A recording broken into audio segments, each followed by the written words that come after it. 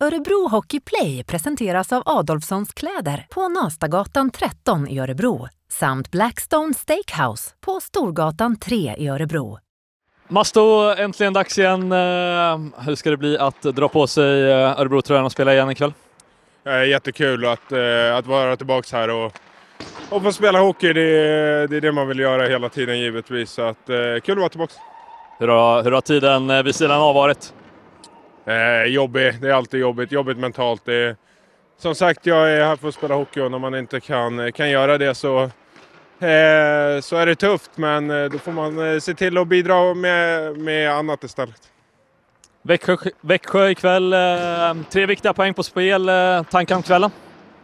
Eh, nej, tre viktiga poäng. Eh, som sagt, det det är tajt. Vi, eh, Eh, ja, det är väl fjärde gången vi möter Växjö och många av matcherna ser, ser likadana ut mot dem. Så att, eh, det gäller att vi är eh, fruktansvärt noggranna med det, med det vi ska göra. Det, eh, det är så man, man vinner mot Växjö. Vad vill du bidra med ikväll?